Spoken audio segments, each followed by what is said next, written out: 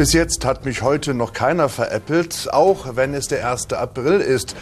Und auch wir von der Bergzeit haben versprochen, keinen bösen Scherz untergejubelt, wenn auch manches fast unglaublich ist. Das geht gleich los mit Der Winter ist zurück, Minusgrade und dicke Schneedecke erwartet. Die Künstler sind los, Exponat präsentieren sich in Traummanufaktur. Und der März ist vorbei. Ein Rückblick auf erzgebirgische Ukraine-Themen.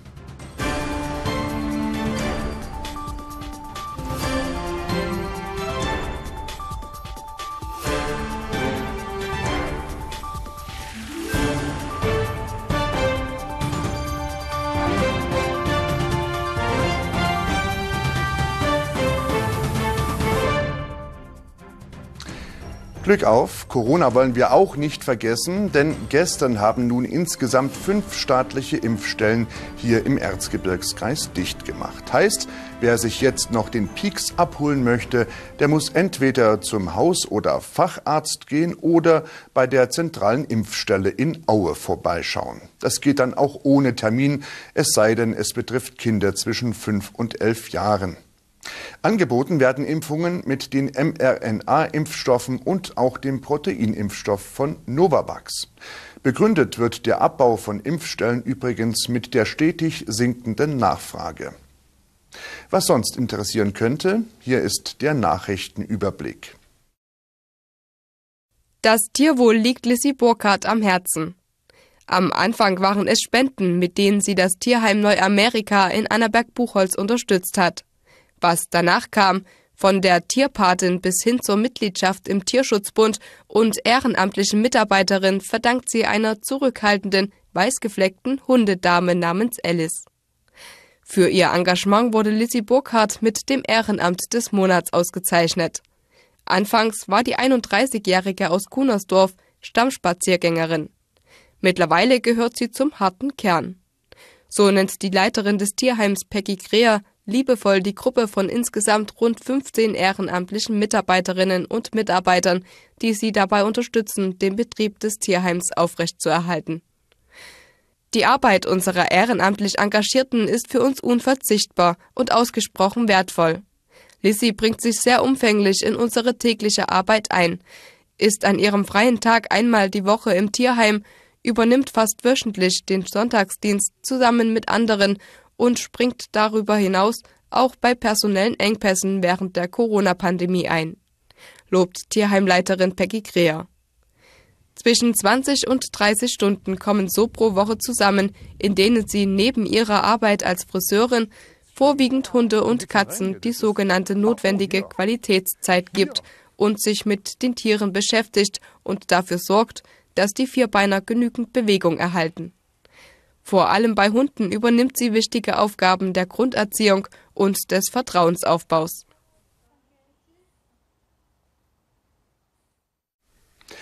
In der Nacht vom 18. auf den 19. Dezember des vergangenen Jahres wurden Einsatzkräfte der Polizei mit Flaschen und Eisklumpen beworfen.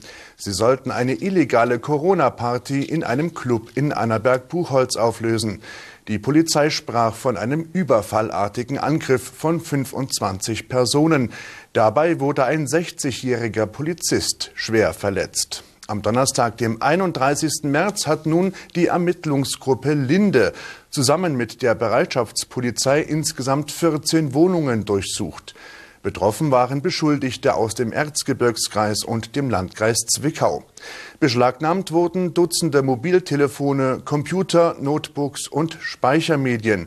Daneben seien auch zahlreiche Schlagstöcke, Elektroschocker, Reizstoffe, Pyrotechnik und weitere Beweismittel sichergestellt worden. Die dabei angetroffenen Beschuldigten mussten zudem eine DNA-Probe abgeben. Es könnten, so die Ermittler, weitere Straftaten unter anderem wegen Verstößen gegen das Waffen- oder Sprengstoffgesetz vorliegen. Insgesamt waren rund 140 Beamte an der Durchsuchungsaktion beteiligt. Nebel, Schnee, Eis und ein böiger Wind, der für Schneeverwehungen sorgt. So zeigte sich in der Nacht auf Freitag das Wetter rund um den Fichtelberg. Es klingt schon paradox, wenn man bei solchen Aufnahmen von dem sonnenreichsten Monat März seit 70 Jahren spricht. Dennoch ist es nicht weniger wahr. Der Rekord von 1953 mit 195,2 Sonnenstunden wurde übertroffen. Dass es auch im Monat März und April noch Schnee geben kann, wissen Erzgebirger. Im Westen von Deutschland gab es bereits eine satte Packung Neuschnee. Nun sind die Mittelgebirge und am Wochenende auch der Süden Deutschlands dran. Einen ersten Vorgeschmack gab es in der Nacht auf dem Fichtelberg. Hier zeigte der Winter noch einmal seine Zähne. Ohne Winterreifen konnte man den 1215 Meter hohen Berg nicht mehr erreichen. Auch in den kommenden Tagen ist im Erzgebirge mit Schneefällen bis in tiefere Lagen zu rechnen. Mehrere Zentimeter Neuschnee könnten hier bis Samstagnachmittag zusammenkommen. Autofahrer sollten sich daher auf glatte Straßen einrichten.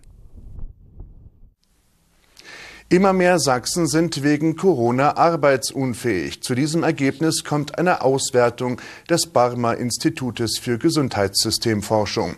Demnach waren in der Woche vom 13. Februar bis 19. Februar rund 1700 bei der Barmer versicherte Beschäftigte wegen einer Covid-19-Infektion arbeitsunfähig. In der zehnten Kalenderwoche vom 6. bis zum 12. März waren es bereits rund 2300. Nur zu den Spitzenzeiten Anfang Dezember 2021 gab es im Freistaat mehr Betroffene.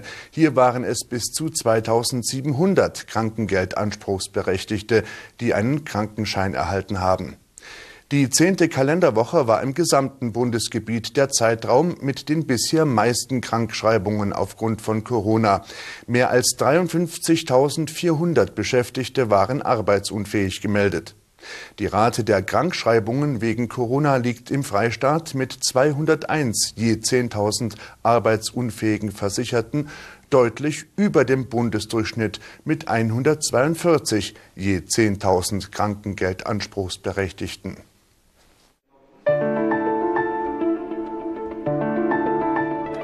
Sehenswert.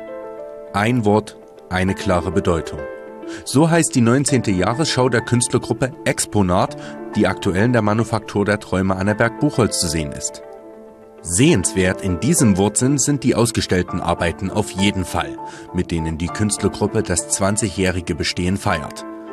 Die sollte allerdings schon im vergangenen Jahr beginnen. Ich hätte sie schon im ähm, Oktober eröffnen sollen und nun sind wir aufgrund von Corona eben in Verzögerung äh, mit ähm, Aufbau im Januar gestartet und äh, ist noch zu sehen bis zum 24. April. Die Ausstellung ist für Exponatkünstler eine Art jährliche Leistungsschau, bei der sie ihre Werke zum einen gegenseitig, zum anderen aber auch der Öffentlichkeit vorstellen. Oft kommen große Überraschungen zutage. Und wir wollen, dass man genau hinsieht, dass man äh, ins Detail sieht, dass man dahinter schaut bei dem, was wir gestalten. Und wir möchten auch gerne, dass man das Wertvolle, den Wert der Handarbeit sieht und natürlich auch den Wert der Gestaltung des Inhaltlichen erkennt und versucht dahinter zu kommen, was gemeint ist.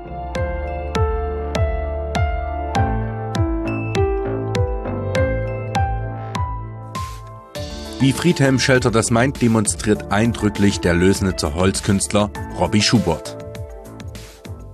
Also wir leben in sehr spannenden Zeiten und äh, sehr herausfordernden Zeiten. Ähm, aber als ich diese Arbeit gemacht habe, habe ich jetzt nicht unbedingt an Corona oder diese Dinge gedacht, die momentan passieren. Ähm, der Gedanke dazu, auch wenn es vor zwei Jahren entstanden ist, ähm, ist eigentlich dieses Grenzüberschreitende, so dass äh, hier ein Mensch dargestellt ist, der aus, äh, aus seinem alten Leben heraustritt, äh, diesen, diesen, diese Kluft überwindet und sich entscheidet, vielleicht aus dem Druck oder aus, den, aus dem, wo er gefangen ist oder wo er weiß, dass er dort nicht mehr so weitergehen kann, äh, eine Entscheidung trifft, ähm, in seinem Leben etwas zu verändern und äh, sich entscheidet, äh, vorwärts zu gehen, in eine neue Richtung zu gehen. Und dann äh, für sich festzustellen, dass es etwas gibt, was ihn hindert, was ihn festhält. Und äh, wenn man hinten rumschaut um die Figur, sieht man diesen alten verrosteten Nagel, der dieses Gewand festhält. Äh, dieses Gewand, was äh, in diese Figur übergeht und letzten Endes sein Leben symbolisieren soll dass er äh, eine Entscheidung treffen muss, entweder diesen Nagel rauszuziehen oder dieses Gewand auszuziehen. Wenn er den Nagel rauszieht, dann heißt es, er geht mit den alten Klamotten in sein neues Leben oder in die neue Zeit hinein und geht so weiter, äh, wie er, wie er ist, wie er die ganze Zeit war. Oder er entscheidet sich, und das ist eine krasse Entscheidung für jeden von uns, dieses Gewand auszuziehen.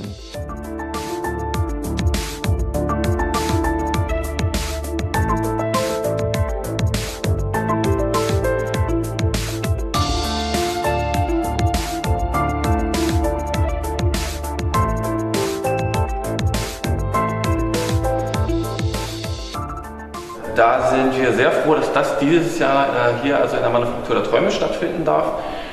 Mm, da gab es sonst eben auch, gibt es sonst immer mal einen anderen Ausstellungsort und in diesem Jahr eben hier in der Manufaktur der Träume. Ja, was uns wichtig ist in dieser besonders spannenden Zeit, ist, äh, dass wir auch das Schöne sehen können, dass wir uns auch freuen können an schönen, ästhetisch gestalteten Arbeiten und dass wir aber angeregt werden zum Nachdenken und zum Gespräch, wo es ja auch in unserer Zeit jetzt äh, manchmal in den Hintergrund getreten ist. Und wir wollen auch ganz besonders die, das Wertvolle äh, miteinander betrachten und sehen, dass es immer wieder auch schöne, ermutigende Dinge gibt und dass wir uns nicht nur dem Pessimistischen anschließen müssen, was uns ständig umgibt sehenswert, diese Ausstellung. In der Manufaktur der Träume plant man aber schon weiter. So wird hier die begleitende Ausstellung zum Musikfest Erzgebirge zu sehen sein und ab Herbst geht's ums Gold, aber aus einem ganz anderen Blickwinkel. Geöffnet ist das Museum täglich von 10 bis 16 Uhr.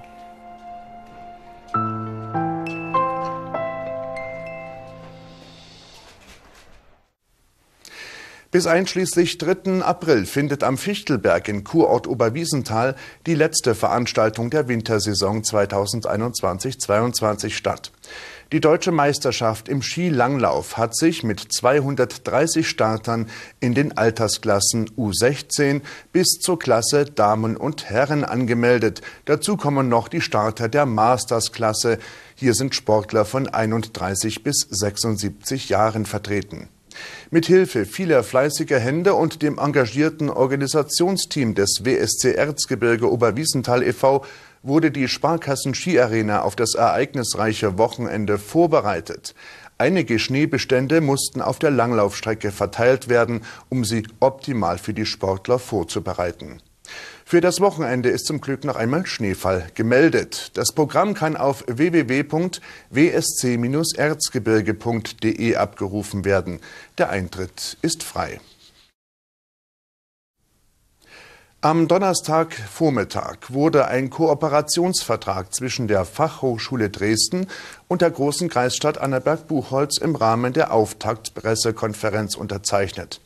Durch die Zusammenarbeit mit der Fachhochschule soll die begonnene Entwicklung von Annaberg-Buchholz zum Forschungs- und Hochschulstandort weiter vorangetrieben werden. Ziel sei es, ein wissenschaftliches Lehrangebot für die gesamte Region zu schaffen, um so dem demografischen Wandel entgegenzuwirken. Dem Bedürfnis junger Menschen nach Bildungsmöglichkeiten in der Heimat soll mit adäquaten Angeboten entsprochen werden, um insbesondere die Abwanderung zu stoppen. Gleichzeitig möchte man Fachkräfte für die regionale Wirtschaft in der Region binden, qualifizieren und gewinnen. Durch die angestrebte Vernetzung von Wissenschaft und regionaler Wirtschaft können wertvolle Synergien genutzt werden, deren Effekte sich positiv auf die Wettbewerbsfähigkeit der Region und ihrer Unternehmen auswirken, diese dauerhaft sicherstellen und erhöhen. Mit Start zum Wintersemester 2022-23 werden zunächst zwei berufsbegleitende Bachelorstudiengänge angeboten. Sozialpädagogik und Management sowie Pflege- und Gesundheitsmanagement. Die Lehrveranstaltungen finden in aller Regel zweimal monatlich an Freitagabenden und Samstagen statt. Das Studium ermöglicht damit eine Qualifizierung neben dem ausgeübten Beruf. Mit der sogenannten Studiengruppe Adam Ries wird damit erstmalig ein Hochschulstudium vor Ort in Annaberg-Buchholz ermöglicht. Die Räumlichkeiten der FHD befinden sich im beruflichen Schulzentrum auf der Hans-Witten-Straße und sind als hybrider Lehrstandort mit modernster technischer Ausstattung konzipiert. Haar mit Land und kluge Sprüche.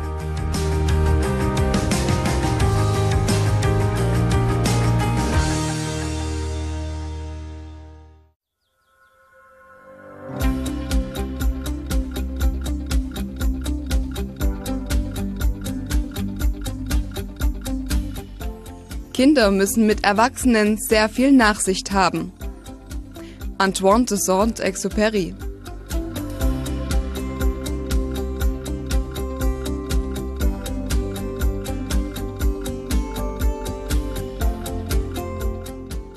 Du kannst deinen Kindern deine Liebe geben, nicht aber deine Gedanken.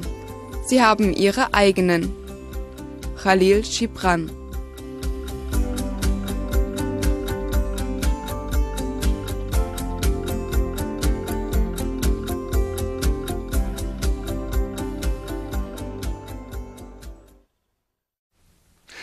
Kinder müssen mit Erwachsenen sehr viel Nachsicht haben, hieß es da gerade.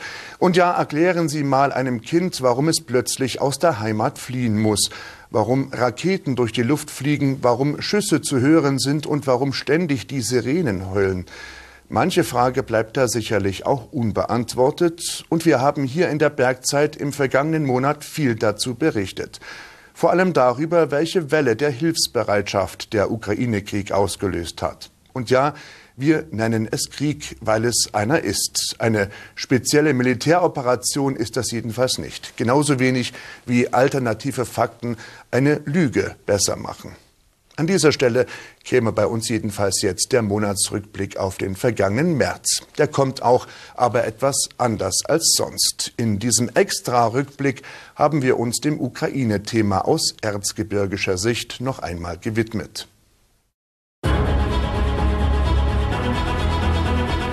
Die Bilder des Monats März sind vor allem geprägt vom Krieg gegen die Ukraine und einer beispiellosen Hilfswelle, die auch im Erzgebirge anrollte. Nicht nur mit Hilfen vor Ort in dem von Russlands Militär überfallenen Land, sondern auch direkt hier im Erzgebirge. Hier noch einmal ein Querschnitt in einem Monatsrückblick extra.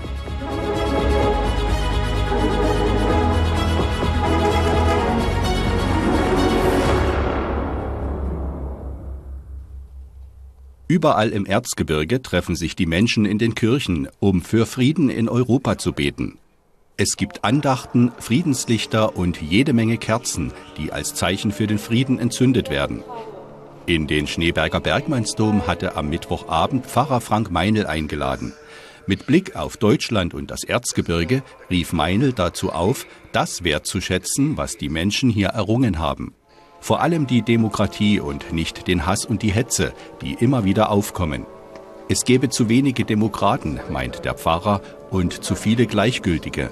Vielleicht sei das bereits eine zentrale Lehre daraus. Hilfe für Flüchtlinge aus der Ukraine ist in Auerbad Schlema Chefsache. Oberbürgermeister Heinrich Kohl hatte am 8. März die ersten Menschen aus dem Kriegsgebiet in ihren neuen Wohnungen begrüßt und auch gleich selbst überprüft, dass es auch an nichts fehlt. Drei Frauen und zwei Babys sind in dieser Wohnung in der Lindenstraße untergebracht. Und gleich gegenüber sind noch einmal zwei Frauen mit ihren insgesamt vier Kindern in der großen Kreisstadt angekommen. Im Rahmen der Soforthilfe hatte die Stadt zunächst diesen Wohnraum zur Verfügung stellen können. Weiteres sollen folgen, müssen aber noch möbliert werden, so Stadtsprecherin Jana Hecker.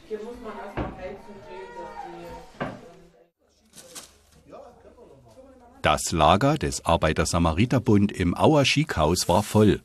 Die Hilfsbereitschaft und das Spendenaufkommen enorm. Wir erinnern uns. Aus Ruskova in Rumänien, nur sieben Kilometer von der ukrainischen Grenze entfernt, erhielt die Stadt einen Hilferuf. Täglich kommen dort rund 4000 Geflüchtete aus der Ukraine an. Es sei kaum mehr möglich, die vielen Menschen zu versorgen, hieß es. Geflüchtete waren aber auch längst im Erzgebirge angekommen. Weitere werden folgen. Und auch dafür wurde beim ASB gesammelt. Denn die Wohnungen müssen möbliert und eingerichtet werden.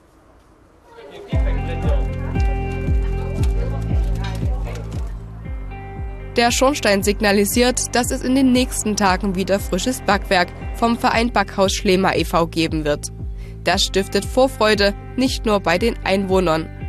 Doch die wunderten sich schon ein wenig, beginnt die Saison doch eigentlich erst zu Ostern.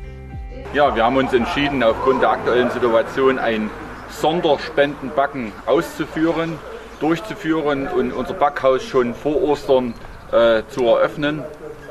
Ich muss sagen, die Idee ist im Verein sehr kurzfristig geboren worden. Vorige Woche erst haben wir uns dazu entschieden und haben in den letzten fünf, sechs Tagen intensiv diesen Backtag vorbereitet, das Backhaus nach fast einem Dreivierteljahr aus seinem Tiefschlaf erweckt, um heute letztendlich unseren Gästen viele Brote, köstliche Brote, äh, verschiedene Obstkuchen, verschiedene Getränke, eine selbstgemachte Kartoffelsuppe gehört auch dazu äh, und beispielsweise auch Speckfett beim Anspielen. Alle Einnahmen aus dem Verkauf werden gespendet. Was reinkam, kommt auch wieder raus. Und zwar an die Vertriebenen aus der Ukraine. Immerhin waren das stolze 2800 Euro. Das Geld sollte also hier vor Ort eingesetzt werden, im Landkreis bei den bereits angekommenen Flüchtlingen. Mit einer besonderen Aktion beteiligte sich der Kreisfeuerwehrverband Erzgebirge, denn auch bei den Feuerwehrleuten in der Ukraine mangelt es an vielem. Dabei sind sie es, die die Folgen der Zerstörungen zuerst bewältigen sollen und Menschen zu Hilfe eilen. Ihre Technik ist dabei oft auf überaltertem Niveau. Heiko Pietsch, der in der Feuerwehr Buchholz tätig ist, weiß, wo die Not am größten ist. Mich haben die Kameraden in der Ukraine, zu denen wir seit 2015 eine gute Partnerschaft und Freundschaft pflegen, äh, gefragt, hey Mensch, habt ihr nicht ein Auto für uns? Unsere Technik äh, ist der Einsatzbelastung nicht mehr gewachsen, könnt ihr was organisieren? Und daraufhin äh, habe ich mich dann an Paul Scharschmidt gewandt und so ist es eigentlich dann entstanden über einen Spendenaufruf über den Kreisfeuerverband Erzgebirge der dann vom Deutschen Feuerwehrverband noch mit aufgegriffen wurde und wir aus ganz Deutschland Spendenangebote bekommen haben. Dem Spendenaufruf mit dem Kreisfeuerwehrverband sind überwältigend viele Reaktionen gefolgt. Im Kreis und dem Umland wurde gesammelt, von Einsatzkleidung bis zur Technik für Brandbekämpfung und Hilfeleistung. Es meldete sich auch die Stadt Oberasbach bei Nürnberg. Hier standen zwei Einsatzfahrzeuge, die zwar ausgedient hatten, aber gut erhalten und weiterhin einsatzfähig sind. Die beiden Lkw gingen mit frischem TÜV und allen Spenden auf die Reise. Zunächst an die polnisch-ukrainische Grenze. Dort wurden sie an die Kameraden aus Solotonoscha in der Nähe von Kiew übergeben. Die dringend benötigten Spenden für die Ortschaft Ruskova in Rumänien sind nach einer anstrengenden Fahrt gut angekommen. Das Team des Arbeiter-Samariter-Bundes war am 17. März, einem Donnerstag, losgefahren und in der Samstagnacht mit 15 Personen wieder im Erzgebirge zurück. Trotz kleiner Verzögerung wegen einem Defekt am Auto sind die Sachen gut angekommen und werden nun vor Ort verteilt. Also äh, bei allen, die sich jetzt daran beteiligt haben, es waren unglaublich viele Schulen, Kindergärten, Privatleute, Firmen, die Stadt Aue. Also man kann die gar nicht alle aufzählen. Möchte ich mich auf jeden Fall für die Spendenbereitschaft ganz, ganz sehr bedanken. Auch die Feuerwehr, die vor drei Jahren nach Ruskova gespendet wurde, ist noch im Einsatz. Rhythmische Klänge kamen am 27. März von der Waldbühne in Schwarzenberg. Moni und Claudia hatten hierhin zum Zumba eingeladen. Einerseits, weil Zumba einfach Spaß macht, andererseits aber auch, um Kindern aus der Ukraine zu helfen.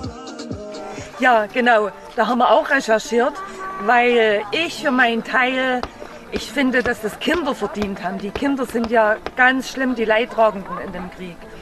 Und äh, in Waschleide im Hollandheim sind Waisenkinder untergebracht. Und äh, die Kinder brauchen noch äh, Sachen, die sie für die Schule benutzen können. Und dafür soll das Geld gedacht sein. Und wir würden auch gerne jeden dann informieren, wie das Geld verwendet wurde. Moni und Claudia haben gehofft, dass ganz viele Interessenten ihrem Aufruf folgen würden und viele Spenden zusammenkommen. Das hat sich erfüllt und so haben alle Teilnehmer nicht nur Gutes für andere getan, sondern auch für sich selbst. Denn Zumba ist eine getanzte Fitnessvariante zu lateinamerikanischen Rhythmen, die allen von jung bis alt gut tut.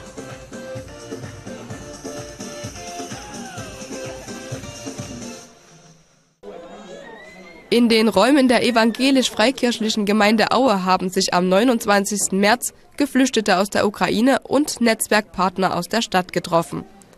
Der Informationsbedarf sei groß, hieß es zum Treffen. Die Geflüchteten haben verständlicherweise viele Fragen, wie es weitergehen kann. Zudem soll die Vernetzung der Flüchtlingsfamilien gefördert werden. Oberbürgermeister Heinrich Kohl hofft und wünschte sich, dass Freizeit, Integration, Sport und Kultur für die Geflüchteten von hilfsbereiten Erzgebirgern abgedeckt werden können. Dazu hätten sich bereits viele Initiativen gegründet, sagte Jana Kaube vom Bürgerhaus in Aue.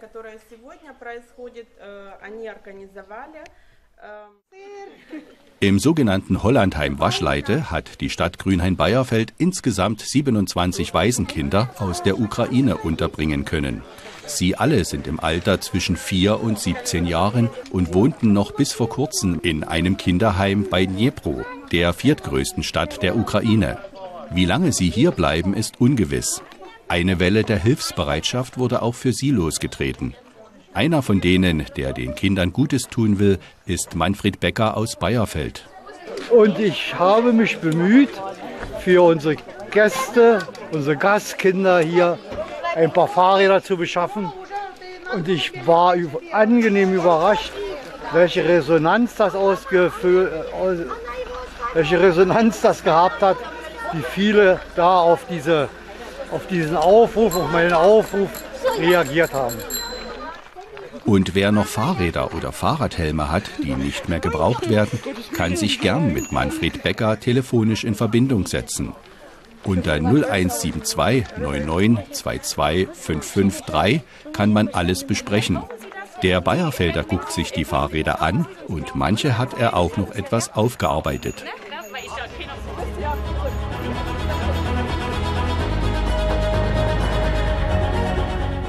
An alle hier genannten und nicht genannten Helfer, Unterstützer und Sponsoren schon jetzt ein herzliches Dankeschön. Auch euch war dieser extra Monatsrückblick März 2022 gewidmet.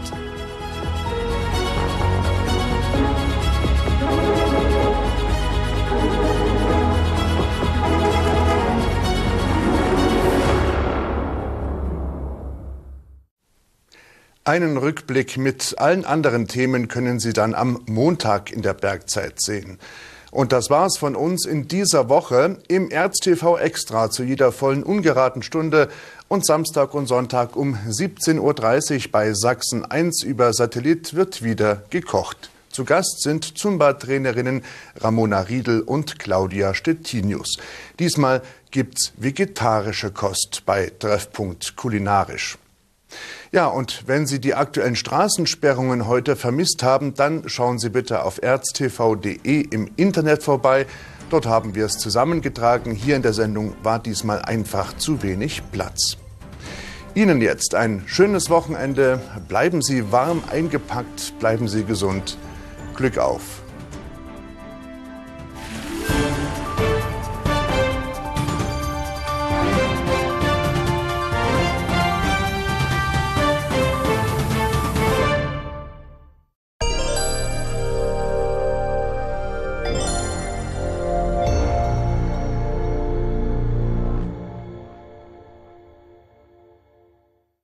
Entdecken Sie Rosaxan.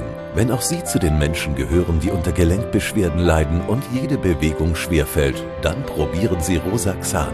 In Rosaxan sind wichtige Nährstoffe für gesunde Knochen, Knorpel und Bindegewebe kombiniert. Die Hagebutte hemmt Entzündungen und fördert die Kollagenbildung. Rosaxan zum Diätmanagement bei Schmerzen und Gelenksteifigkeit bei Gonarthrose. 100% natürlich. Fragen Sie in Ihrer Apotheke oder Ihrem Reformhaus.